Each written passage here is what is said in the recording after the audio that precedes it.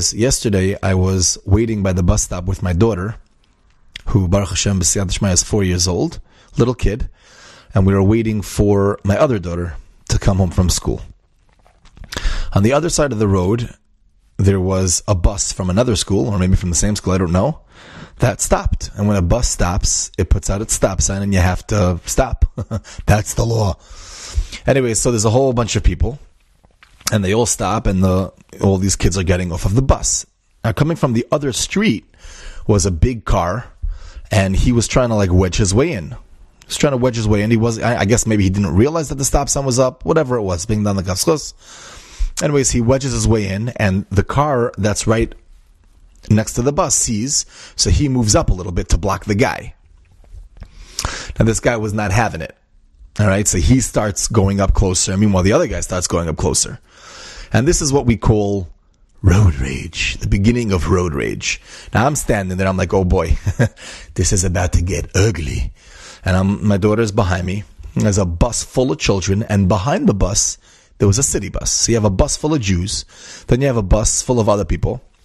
By the way, a Kiddush Hashem applies everywhere, with Jews and with non-Jews. A Kiddush Hashem, you represent the Kadosh Baruch so wherever you are, you have to be somebody who represents Hashem. Anyways, it literally starts getting ugly. I'm standing, I'm like, uh oh, this is not going to be good. And the guy gets very upset. So he like sort of goes into the car to block him. Then the other guy tries to block him. And like before you know it, no one's moving. Cause now these two cars are blocking everybody. Everybody's beeping, trying to get around. And meanwhile, they're giving them each other the eyes and it got very, very vicious. Finally, one guy relents a little bit. He goes to the side. The other guy swerves in front of him and now stops him a little bit further up. And it's back and forth. And it's, uh, and everybody's watching this. And everyone's beeping. The city bus driver's beeping. This guy's beeping. The pickup truck behind them was beeping. And, um, and yeah, it got very bad. And then one guy gets out of the car, starts saying things that nobody should hear. But Rabbosai it's in front of everybody. It's in front of everybody. It was for what? Because one guy thought that he, uh, it was my right of way and I should have, and this literally went on for a long time. I'm just sitting there watching, I'm like hoping my daughter doesn't see this. And Rabbosai two ambassadors. Now I'm saying this l'toeles. If you're a Jewish person, what, what is road rage? What, what is road rage? Rage? We don't have rage. We have patience. We have rachmanus.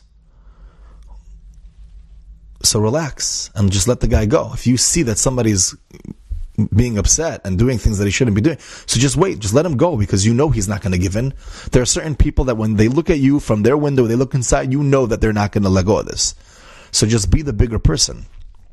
Because what's the effect? You have two people, maybe or maybe not, they were Jewish, and everyone's watching them fight and curse each other. Because why? Because one guy moved up a little bit and they're just waiting there and everyone's beeping. It broke my heart. It literally broke my heart that, that we represent Hashem. We're all part of one nation. What's going on over here? What's going, Rabbosai, we are part of such a beautiful, amazing nation. Now, I'm not judging anybody. I'm just giving an awareness to everybody. If you drive and somebody cuts you off, just let him cut you off. I'm not saying to let 40 people cut you off. Okay, use your seichel. But make sure that at any time, wherever you are, whatever you're doing, people will say, wow, that's a Jewish person. He's somebody who represents Hashem. That's somebody who could be a role model. As opposed to, oh my gosh, don't look. I hope that entire bus of children didn't see that or hear that. I hope the entire city bus didn't hear that. I hope I didn't hear that. Why should, why should I have to dunk my ears in a mikvah after what I heard? For what? For what? Because I had the right of way? You guys are both stopping by the red light right there anyways. And if it's not that red light, it'll be the next red light. And and what are you rushing for? To get home to check your phone? To what? To check up people's statuses? Now, again, I'm not saying this always applies that a person that shouldn't rush. If a person has to rush, you got to go. Somebody's giving birth in the car, you got to hurry up.